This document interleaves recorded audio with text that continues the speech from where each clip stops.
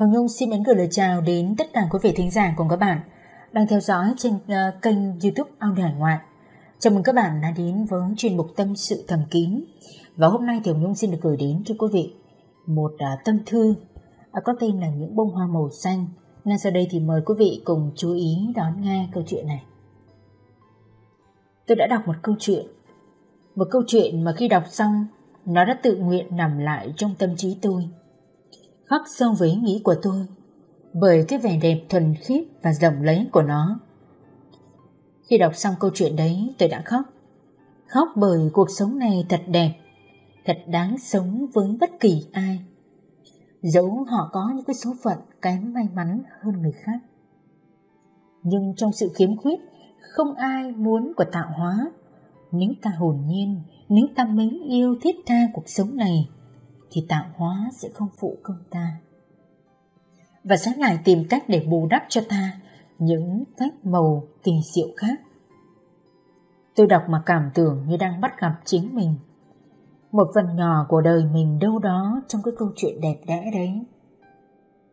Điều đó giúp cho tôi có động lực viết ra câu chuyện của mình và mong muốn được chia sẻ với độc giả những gì mà tôi nhận được từ những phép màu kỳ diệu của cuộc sống. Câu chuyện đời tôi xin được kể cùng quý thính giả như sau.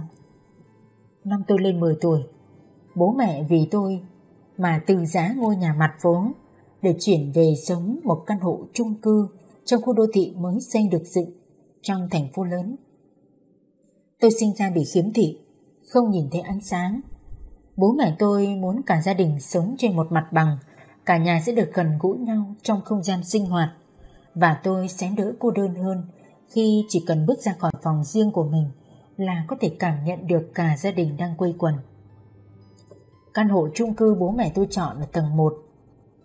Chỉ cần bước ra cửa là chạm vào khu công viên của khu chung cư với vườn hoa và thảm cỏ xanh biếc trước cửa nhà. Mỗi chiều sau khi bố mẹ tôi đi làm về, thường dắt tôi ra đây đi dạo hoặc ngồi trên chiếc ghế đá ở công viên để lắng nghe những thanh âm sôi động của cuộc sống xung quanh. Những buổi tối mùa hè, bố tôi và mẹ tôi vẫn dắt tôi xuống công viên và để tôi ngồi chơi trên ghế đá hóng mát hoặc ngồi bệt xuống cái thảm cỏ xanh rồi cùng bố mẹ nắm tay nhau đi dạo xung quanh công viên. Tôi ngồi chơi đùa với lũ trẻ con trong khu.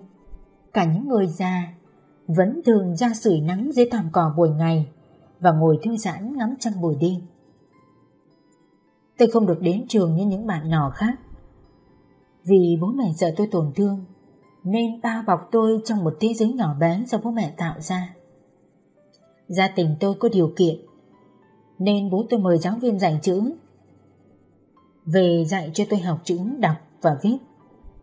Mẹ tôi thuê giày dạy đàn piano, Dạy hát cho tôi ở nhà. Một tuần bố mẹ tôi đến câu lạc bộ khiếm thị vài lần Để tôi sinh hoạt chung với các bạn nhưng không theo học thường xuyên ở trường dành cho những người khiếm thị. Tất cả những sự chăm sóc chu toàn của bố mẹ giúp cho tôi có một buổi tuổi thơ ấm áp và hạnh phúc như bất kỳ đứa trẻ nhỏ nào khác. Bởi tôi sinh ra bị bẩm sinh, đôi mắt không nhìn thấy ánh sáng. Thế giới của tôi chỉ có âm thanh mà không có sắc màu. Thế nên tôi chưa từng biết về một thế giới khác, rực rỡ ánh sáng để mà so sánh để mà thất vọng. Từ nhỏ thế giới của tôi chỉ bó hẹp xung quanh gia đình. Chỉ có bố mẹ, ông bà và em trai. Tôi không hề biết có một môi trường sôi động bên ngoài, nên tôi bằng lòng vui vẻ với số phận. Hình như ông trời lấy đi của tôi đôi mắt, thì bù lại cho tôi sự tính nhảy của đôi tai và sự khéo léo của bàn tay. Tôi chơi đàn khá giỏi, và tôi đam mê với cây đàn của mình. Phòng của tôi có một khung cửa sổ rất to để nhìn ra khu viên vui chơi của khu chung cư. Mẹ tôi kê cây đàn piano dành cho tôi ngay cạnh cửa sổ. Mỗi ngày tiếng đàn của tôi vang lên làm rung động cả một không gian nhỏ trong khu chung cư. Nhưng tôi không thể mãi là một cô bé trẻ con, bình an mãi trong bóng tối được. Tôi lớn dần lên và mỗi ngày tôi càng nhận ra tôi hoàn toàn khác với những đứa trẻ khác. Thế giới của tôi cũng quá khác biệt bởi nó diễn ra trong bóng tối tẻ nhạt. Trong khi các bạn vui vẻ đến trường, thì tôi ở nhà như cô bé trong cung cấm. Xung quanh tôi thứ sống động duy nhất vấn dụ tôi chính là những âm thanh.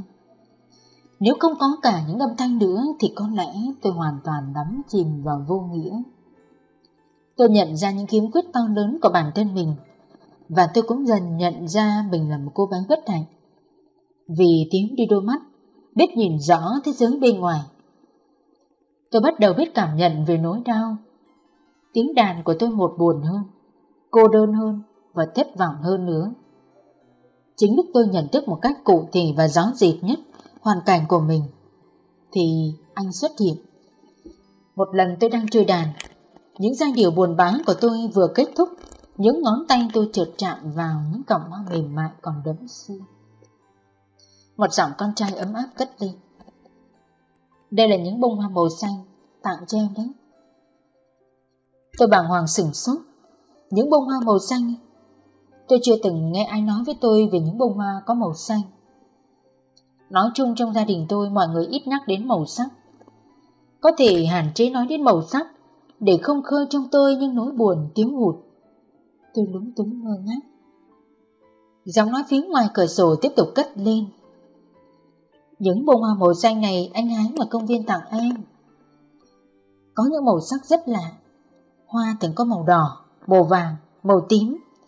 Nhưng anh để rất ít khi thấy những bông hoa màu xanh. Anh thấy nó đặc biệt nên mang về đây cho em đấy. Em có thể tự lấy chiếc cốc hàng ngày em vẫn uống nước để cắm những cái bông hoa này nhé. Nhớ cẩn thận, vì cửa khóa anh không thể vào giúp em được. Hoa yêu lắm, màu xanh sẽ mang đến cho em niềm hy vọng. Nhà anh ở ngay cạnh nhà em đây thôi. Anh là Vũ, hàng xóm của em. Em cần gì thì cứ ra gọi cửa lớn. Anh Vũ ơi, anh ở nhà, anh sẽ có mặt giúp anh ngay. Tôi ấp úng vâng dạ, nhưng trong bóng tối phủ đầy đôi mắt của mình, tôi bắt đầu tiếp tràn ngập một màu xanh. Dù tôi không hình dung được màu xanh là màu gì. Những bông hoa màu xanh của anh đã đánh thức tôi dậy mỗi ngày. Tôi có thêm một người bạn là anh, ngoài bố mẹ và em trai. Ngày nào đi học về anh cũng ghé qua cửa sổ để nói chuyện với tôi một lúc. Thỉnh thoảng anh lại mang cho tôi những bông hoa màu xanh. Chỉ là màu xanh thôi. Anh nói vì nó đặc biệt nên mới dành tặng cho tôi. Bởi tôi cũng là một cô gái đặc biệt. Việc không nhìn thấy ánh sáng không phải là lỗi của tôi. Và vì không nhiều người rơi vào hoàn cảnh như tôi nên tôi được xếp vào đặc biệt. Anh trò chuyện với tôi mỗi ngày, ngay khi có thời gian rỗi, anh đi học về. Thời gian ấy anh đang học đại học kiến trúc. Tôi bước vào thế giới của ánh sáng thông qua những buổi chuyện trò với anh. Tôi bắt đầu muốn đến lớp dành cho người mù. Vũ nói chỉ đến đó tôi mới hòa nhập được với mọi người và cuộc sống của tôi sẽ vui vẻ hơn.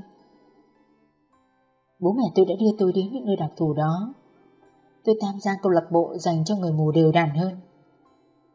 Ở đó tôi được sinh hoạt trong cộng đồng những người có hoàn cảnh đặc biệt như tôi. Và cuộc đời tôi mở ra bao nhiêu điều lạ lắm. Tôi có thêm bạn bè, tôi không còn cảm thấy tách biệt và cô đơn như trước.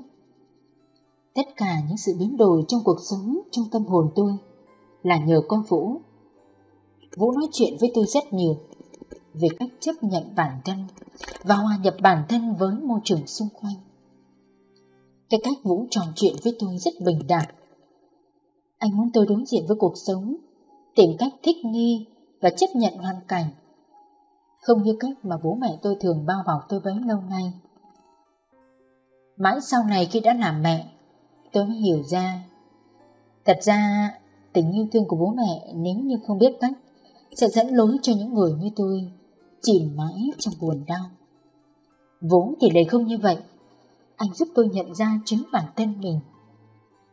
Tôi bắt đầu trông Vũ mỗi ngày. Tôi chờ đợi những bông hoa màu xanh của anh, như chờ đợi thứ không khí để thở, như chờ đợi mặt trời để hồi sinh. Tôi chờ anh ló mặt qua cửa sổ phòng và đưa cho tôi những cọng hoa màu xanh, man mát, mềm mại